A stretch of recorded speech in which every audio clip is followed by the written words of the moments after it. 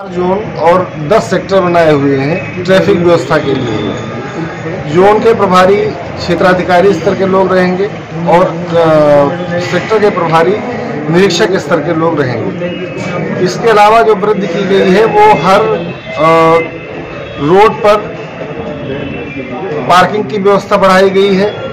मथुरा और वृंदावन रोड पर तीन पार्किंग एक्स्ट्रा की गई हैं, जो पागल बाबा पार्किंग, राही पार्किंग और आईटीआई पार्किंग है।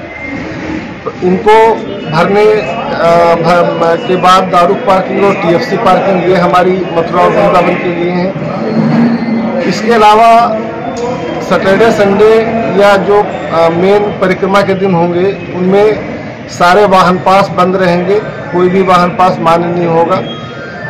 हमने जहाँ जहाँ पार्किंग की है, वहाँ वहाँ से हमने टेंपो और ई रिक्शा की व्यवस्था की है, जिसके बारे में डिटेल में मैं आपको बता चुका हूँ पहले भी और प्रेस नोट भी दे चुका हूँ कि ई रिक्शा किन किन रूट से कहाँ कहाँ पर जाएँगे। हमारा मैक्सिमम प्रयास ये रहेगा कि ठाकुर बाके बिहारी मंदिर और परिक्रमा मार्ग के नज़दीक से नज़दीक तक हम सवारियों को, श्रद्धालुओं को पहुँचा सकें।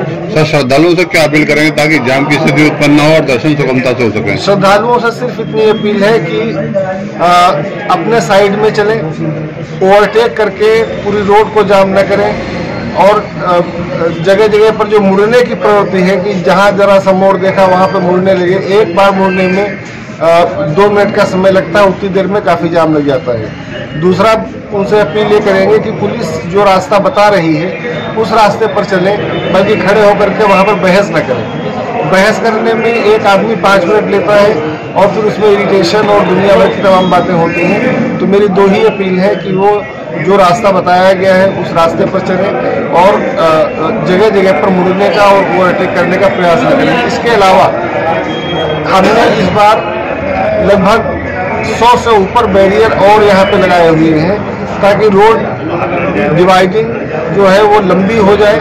और आ, आ, उसी उसी डिवाइडर के सहारे रुक सके और बात करें तो कितने श्रद्धालुओं के आने का आप अनुमान लगा रहे हैं? अब पिछली बार ही लाखों श्रद्धालु हो गए थे। इस बार भी हमको लग रहा है पचास प्रसार ज़्यादा हो गया तो और ज़्यादा होंगे कम तो नहीं होंगे। कान्हा की नगरी से जुड़ी हर छोटी बड़ी खबर पर है हमारी पैनी नज़र। जुड़िए समाचार सिटी 24 के साथ। सब्सक्राइब करें लाइक करें और पाएँ सबसे पहले लेटेस्ट अपडेट।